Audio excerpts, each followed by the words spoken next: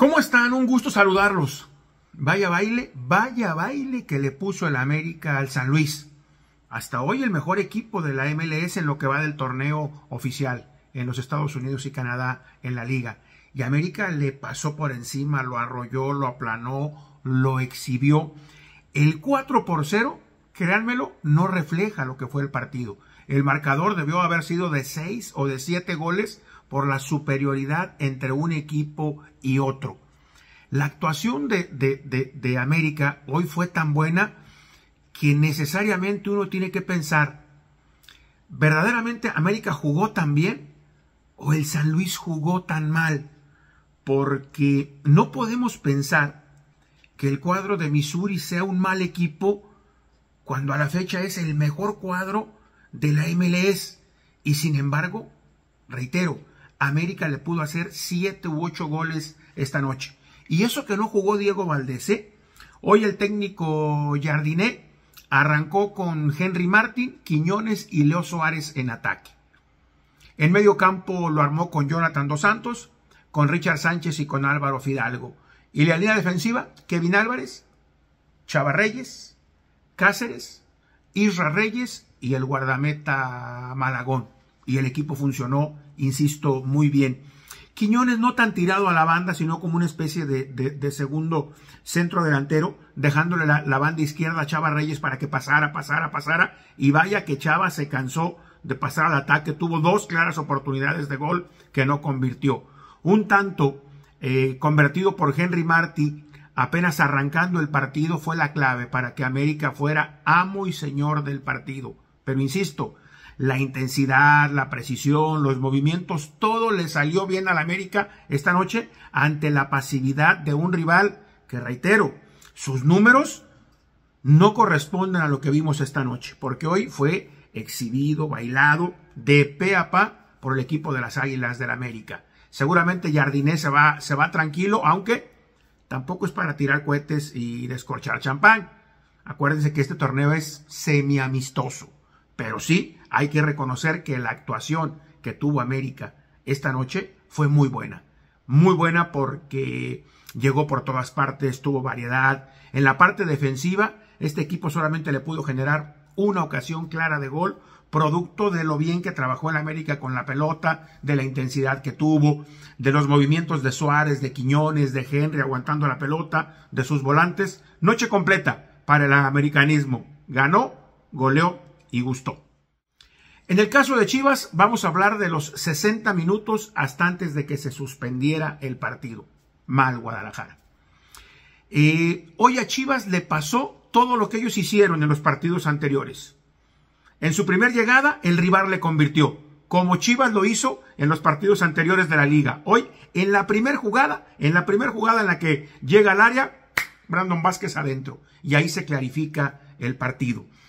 Aprovechó Pauno para intentar, para probar con el medio campo de lujo que uno imagina que tiene, que tiene Chivas.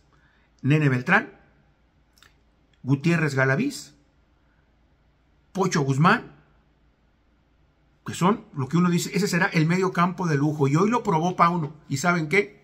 No funcionó. ¿Por qué? Porque puso como volante de contención a Gutiérrez Galaviz. Guti no es volante de contención. No tiene mucha recuperación de pelota. Tan es así que los dos goles del equipo de Cincinnati nacen en jugadas donde Luciano Acosta, el 10 de Cincinnati, supera a Gutiérrez Galaviz jugando en esa posición como volante de contención.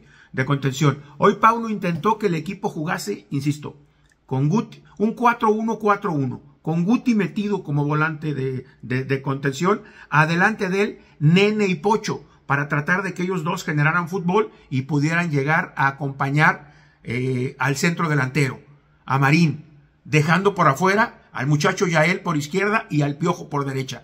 En el papel pintaba interesante, sin embargo no funcionó, porque reitero, en la primera jugada del partido lo vacunó Brandon Vázquez con un golazo. Y después, seguramente no, no lo alcanzó a medir Pauno en su planteamiento, no se dieron cuenta que del otro lado estaba uno de los mejores volantes de ataque que tiene la, la MLS, como lo es Luciano Acosta. Ya pocos equipos juegan con este tipo de futbolistas, pero Cincinnati juega.